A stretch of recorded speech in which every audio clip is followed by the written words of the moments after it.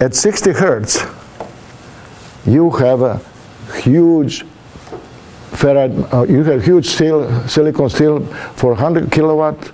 Uh, this will be half, you know, this, this big. It'll be like a car, okay, at 60 hertz. You know what? Now you have Tesla induction motor, which operates at 1.5 kilohertz. And 150 uh, kilowatts or 200 kilowatts is this big and this in a cross section because it is only 50 hertz to 1.5 kilohertz. It's 30 times bigger in frequency, right? So that's what Tesla uh, told Edison at the time and say, DC is dull and boring. AC is has an exciting thing. You can increase frequency to whatever you want, okay? And shrink the size, shrink the material cost, etc. And we are not even close doing that, okay?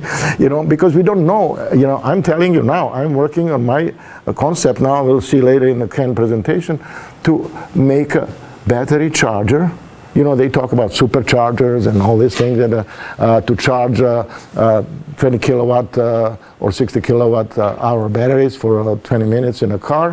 But it's the size of the car. And it costs $100,000 and it's every 300 miles every which way you go.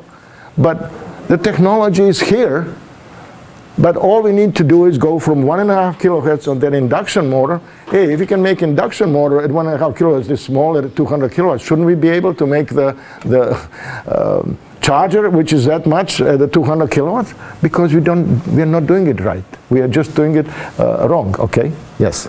And uh, so therefore, um, uh, that's the, uh, I think I'll just um, finish this part so you got the lecture.